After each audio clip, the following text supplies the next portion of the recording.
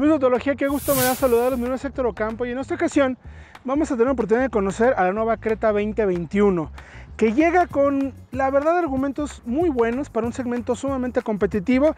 La conocemos muy bien, prácticamente es una Celtos, aunque hay cambios interesantes que justo quiero que vean en los siguientes minutos.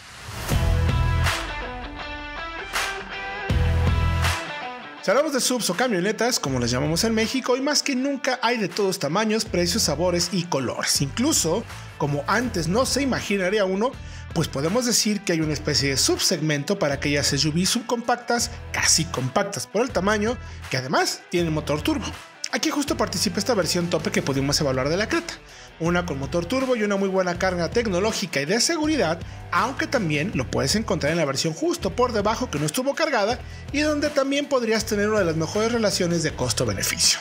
Pero vamos por partes. Diseño. Lo primero que salta a la vista es lógicamente su diseño. Hyundai da un bandazo a la imagen y toma elementos de los vistos en autos más lujosos y grandes de la marca como la Palisade que no se vende en México o la Santa Fe.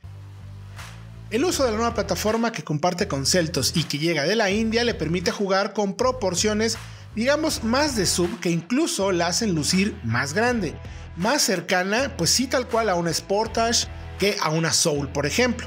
La versión límite turbo que evaluamos tiene faros y calaveras de LED con una parrilla cromada oscura, el techo en color negro con racks también en el techo y un acento visual muy bonito en cromo que corre por todo el techo y hasta la parte trasera. Digamos que le da un perfil un poco más, podemos decir, deportivo. Hay mucho trabajo y cuidado por el detalle con líneas y perfiles muy caprichosas que pueden o no gustarte, pero que ni por error, eso sí, va a pasar desapercibida. Tren motor y modos de manejo.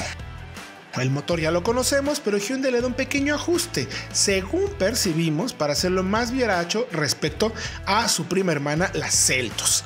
Es el 4 cilindros de 1.4 litros turbo cargado con 138 caballos y 179 libras-pie de torque acoplado a la doble embrague de 7 cambios que emplea el grupo también en varios modelos. Nosotros notamos, además de ser más despierto, este motor una caja sí la verdad un poco más dubitativa. El manejo citadino le cuesta trabajo adaptarse a una conducción más relajada, parece como si quisiera ir saltando de relación en relación con más enjundia o carácter deportivo. En el modo Sport es un poco más precisa, pero siempre buscando ir a prisa. En los modos más terrenales notamos algo lenta y de verdad insisto mucho, duda mucho cuando presionamos con fuerza el pedal como para una incorporación de cuenta en periférico o en la carretera. Los modos de tracción son un tema muy interesante, pues Hyundai decide hacer una gestión con base en el control del ESP para limitar la entrega de par en las ruedas motrices y mejorar esta entrega dependiendo del modo elegido. Es una especie, sí, tal cual como de preset, que ayuda a traccionar mejor de acuerdo a las condiciones del terreno pero no considera la posición del volante, cosa que sí sucede en un SP en su función de mantener el auto en trayectoria, y de ahí que frene selectivamente para mantenernos en el camino que estamos marcando. La nos parece una solución muy inteligente. A falta de poder hacer las pruebas de selección y frenada más adelante con nuestro equipo de pruebas VBOX, en consumo y desempeño, como mencionamos, percibimos una aceleración más contundente en el Creta, pero nos quedamos pues tal cual en mera percepción. En nuestras pruebas, Celtos nos dio con un consumo combinado de 11.8 km por litro. En ciudad, en la Creta, conseguimos 12.8 km por litro. Muy buena cifra considerando pues que es el motor turbo con un consumo mixto al final de 12.1 km por litro, apenas por encima de su hermana. En autopista logramos cifras en el orden de los 11.2 km por litro. Ahora hablemos de la calidad de marcha. De hecho, es la verdad lo que más me gustó de la nueva Creta. Se percibe más firme y sólida que con las Celtos. Me gusta más la puesta a punto de Hyundai porque se nota como una camioneta que puede ir más a prisa y aunque la dirección no es la de un auto de corte deportivo o sagaz, sí tiene un feedback suficientemente bueno para saber qué pasa con las ruedas o da más gusto de rodar, en pocas palabras. El filtrado de los amortiguadores es bueno, no sufrimos tanto con los malos caminos y se aísla suficientemente bien para seguir teniendo pues ese saborcito de una sub bien terminada. De hecho, esta nueva Creta echa mano de una estructura más sólida con el empleo de más porcentaje de aceros de alta resistencia, hablan del 65%, lo que incluso le permite justificar a la marca que por ello las versiones de entrada solo requieren de dos bolsas de aire. A nosotros, la verdad, creemos que ambos factores, la estructura y los airbags, siempre vendrán mejor juntos en mayor número. Si hablamos ahora de sus materiales y ensamble, esta versión tope, esta GLS Premium, tiene asientos de cuero y plásticos de muy buena hechura en el interior. Nos gusta la combinación de materiales y echar mano de esos acentos de iluminación a lo largo del tablero que le hace todavía mejorar más la sensación de calidad y estar en un auto de una categoría más arriba. Los asientos son firmes, tienen la sujeción necesaria y se perciben cómodos para usarlos durante, pues sí, la verdad, muchas horas en autopista.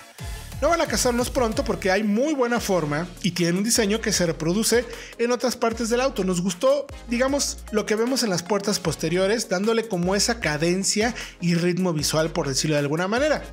Incluso atrás también está cuidado el uso de materiales y costuras que son visibles en la piel, pues que le suman en esa percepción de estar en un vehículo de buena calidad.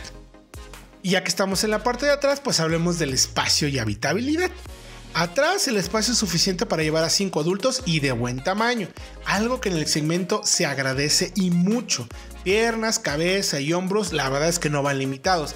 Incluso si van solo dos detrás, pues tenemos un descansa brazos con portavasos que es bastante cómodo y funcional. La cajuela tiene varios puntos favorables. La boca de entrada es amplia, el diseño permite tener más espacio y la cajuela es baja para que digamos no tengas que levantar tanto las cosas que quieres meter en la cajuela. Llevamos llanta completa de refacción, que se agradece mucho para una emergencia, aunque eso pues le cobra factura al espacio. Y la cajuela es de apenas 405 litros. Está debajo del promedio e incluso de una Peugeot 2008 que tiene 430 litros. La conectividad y el equipamiento es importante también para Hyundai. Aquí le pone detalles interesantes sumados al motor turbo. Esta versión tope tiene una pantalla de 10.25 pulgadas táctil, la pantalla central, que ya en el uso cotidiano, la verdad, sí se agradece el incremento respecto a las de 8 pulgadas que encontramos en promedio en el segmento. ¿Por qué todo nos queda, todo se ve mejor y es más fácil de seleccionar o incluso podemos tener dos aplicaciones abiertas al mismo tiempo? También hay una pantalla de 7 pulgadas a color en el cuadro de instrumentos que ofrece muy buena visibilidad. Tenemos freno de estacionamiento electrónico, sensores y cámara de reversa, antinielas posteriores, asientos de cuero, palanca y volante forrados en piel, ajuste eléctrico de asiento del conductor, llave inteligente con apertura y arranque remoto, control de velocidad de crucero, selector de modos de manejo, cargador inalámbrico para teléfonos inteligentes y aire acondicionado automático.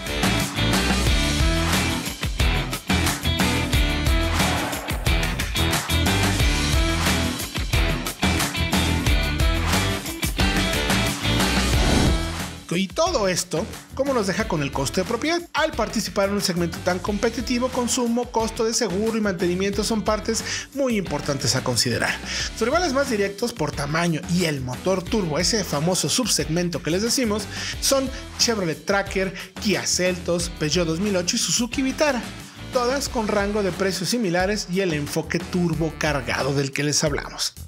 Si compararon la nueva Creta en su versión más equipada con la versión similar directa de Vitara, por ejemplo, el modelo de Hyundai tiene un costo de seguro anual apenas por encima, con un costo de mantenimiento a 12 meses, eso sí, más accesible, aunque Vitara entregó un muy buen consumo de combustible, por lo que anualmente es ligeramente menos costosa en este apartado. Al final, anualmente el costo de seguro, mantenimiento y consumo de la Creta se ubica apenas por encima de los 48 mil pesos y Vitara en el orden de los 43 mil. Si hablamos de depreciación, están muy parejas, con un 26% para el modelo de Hyundai en los primeros tres años de uso y 24.5% de depreciación para el modelo de Suzuki. Pero también debemos considerar que la marca coreana tiene un gran valor final después de estos tres años de uso, gracias a una garantía de 5 años o 100 mil kilómetros.